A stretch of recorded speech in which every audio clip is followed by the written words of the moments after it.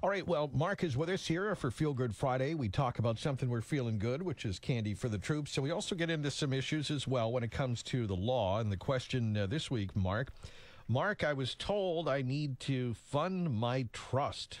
What does that mean? I was told I need to fund my trust. Huh. That's interesting. Um, all right. So, what this person appears to be talking about is that they started an estate plan, right? They began the process, but apparently they haven't completed it because what happened is they've been given documents, and bare bone documents have no effect unless you do something with your assets, right? So, when you create an estate plan with a trust, it only works if you quote unquote fund it, right? So, the way to the way to explain this visually would be a bucket, right? Maybe you have a bucket or two buckets, depending on how the estate plan was designed.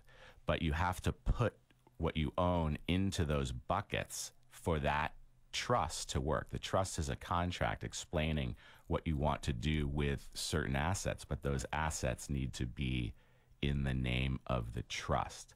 So, for example, your real estate, your home, you would have to go sign a deed and have that recorded at the registry of deeds out of your individual name and into the bucket, right? Into your estate plan. So into the title of your plan, the Mark Stiles Living Trust of 2021 or something like that, right? Mm-hmm. And you need to do that with all of your assets, right? Your securities, the IRAs, you have those third party beneficiaries, you have that um, beneficial interest of when you pass, who does it go to?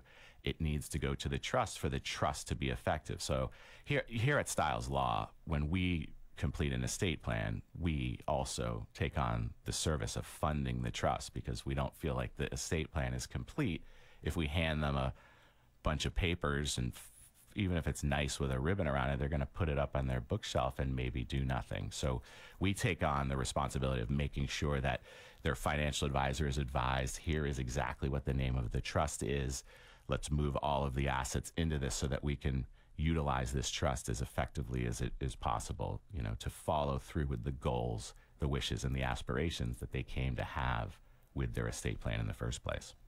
All right. Well, we hope that uh, helps helps you out. And uh, of course, uh, when it comes to uh, trusts and uh, state planning and other legal issues, uh, Mark Stiles and his team can help you out. And they also have a number a number of YouTube videos as well. Uh, that explain a lot of these things to get you started. And uh, Mark, uh, people are invited to go to the the website or the YouTube page to learn some information. Absolutely. So on YouTube, at Stiles Law, we have those videos, as you mentioned, Robin. One of the videos we talk about is the gift of estate planning. So, you know, a parent is doing their estate plan work and they think, you know what, our kids really need this too. Well, we have a video that talks about that. And until the end of the year, if you mention WATD to our estate planning team, Ooh. we will reduce our fees by 20%.